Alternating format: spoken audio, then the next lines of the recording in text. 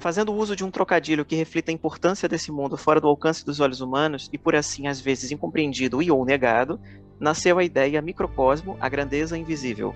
O projeto nasceu a partir da visão negativa cultivada em nossa sociedade sobre os microrganismos, num contexto de desconhecimento do que se compõe o microcosmo, bem como das relações multiespécies que influenciaram a história humana em todo seu curso, sejam nos aspectos culturais, sociais, bélicos, ecológicos, biológicos ou médicos. Nesse cenário, o principal objetivo é divulgar a microbiologia como ciência, ao mesmo tempo que coletam-se dados sobre as emoções positivas e negativas que os indivíduos que compõem o chamado microcosmo podem provocar. Nossa extensão se preocupa em educar os participantes sobre os diversos aspectos em que os micro-organismos se inserem na sociedade. Para aprofundar um diálogo e visão interdisciplinar do tema, colaboradores e discentes voluntários foram unidos de forma que o maior conjunto de visões e saberes sobre o tema estejam representados. O projeto está em seu primeiro ano, contudo, apresenta uma idealização e construção iniciada antes da pandemia. Eu já entrei na pandemia. Tivemos diversas reuniões discutindo e aprendendo através de textos como o Manifesto das Espécies Companheiras. Em tempos pandêmicos, o projeto ganhou um sentido maior para sua execução. Sobre esses seres, que nem tudo é doença, nem tudo é coisa ruim, tem muitas questões ecológicas.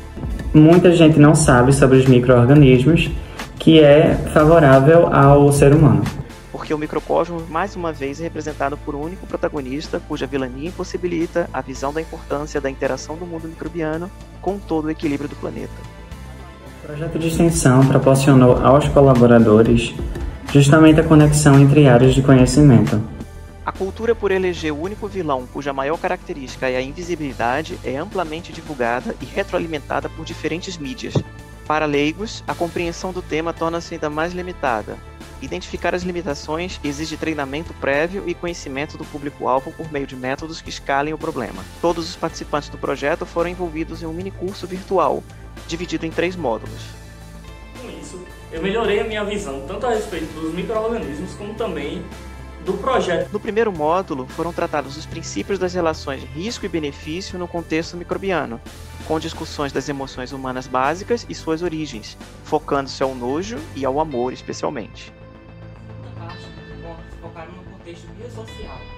No segundo módulo foram tratadas relações multiespécies, construção da sociedade, categorização de espécies, demonização de organismos e negacionismo do invisível. Conhecimentos sobre os micro-organismos têm sido bastante discutidos desde a antiguidade, justamente pelo surgimento de doenças causadas principalmente por vírus, bactérias e fungos. No terceiro módulo foram tratados aspectos da relação entre micro-organismos e a história da humanidade.